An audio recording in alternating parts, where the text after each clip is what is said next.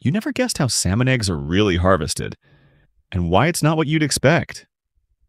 Stick around. This gets weirdly intense.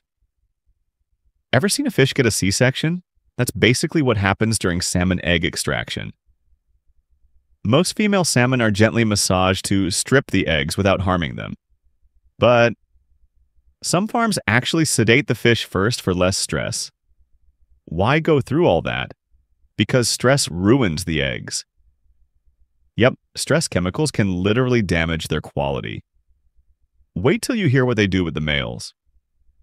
Male salmon are milked for sperm, and the mix happens in a lab. No romance here.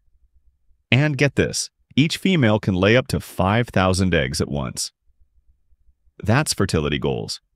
But here's the wild part some farms never kill the fish, they're reused year after year like egg laying MVPs.